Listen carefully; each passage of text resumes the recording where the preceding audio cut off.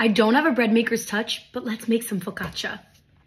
So I'm following this recipe that I found from one of my favorite focaccia bakers online, Lacey Bakes. This is 500 grams of bread flour. I have the rest of my ingredients ready to go, so I'm gonna grab another bowl. Adding in 420 milliliters of warm water. Next, six grams of instant yeast. Um, this is basically about one packet of like the dry active yeast. One tablespoon of honey. I've learned from my chronicles in the past that the honey is going to help make sure that the yeast is activated. One tablespoon of olive oil. There we go. I'm gonna whisk this together and pray that the yeast doesn't die. That looks good so far. Now I'm gonna add in the flour and uh, little by little incorporate that to the wet mix. I feel like that looks good. Promising. Now I need to cover this. So I'm gonna cover this with a dish towel and wait 15 minutes. It's time to see if anything's happening.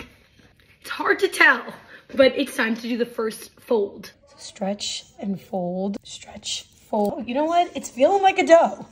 It's feeling like a dough already. It's time for another nap, another 15 minutes. It is time for another fold. Let's see. Okay, we are seeing growth. Look at her. I'm going in for more folds. Oh my God, the dough is already feeling really floofy. I'm so excited.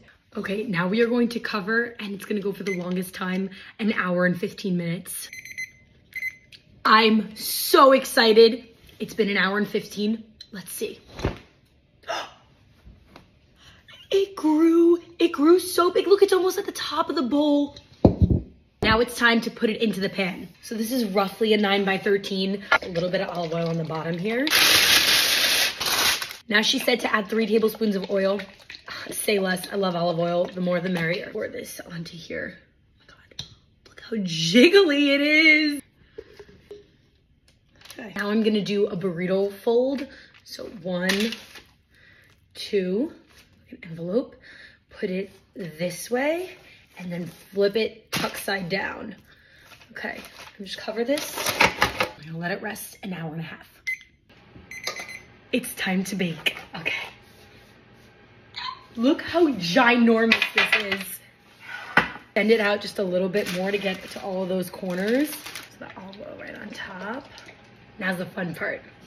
Just make all those beautiful divots. I have some olives, so I'm gonna add just olives all around. Some rosemary. Last but not least, we need some flaky salt all over the top. See you in 20 minutes. Look at her. Holy cannoli. Looks so good. This little peak at the bottom. It's perfection. Nice golden brown.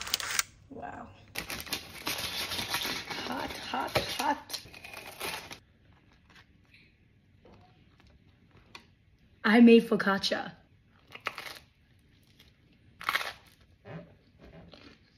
Oh my God.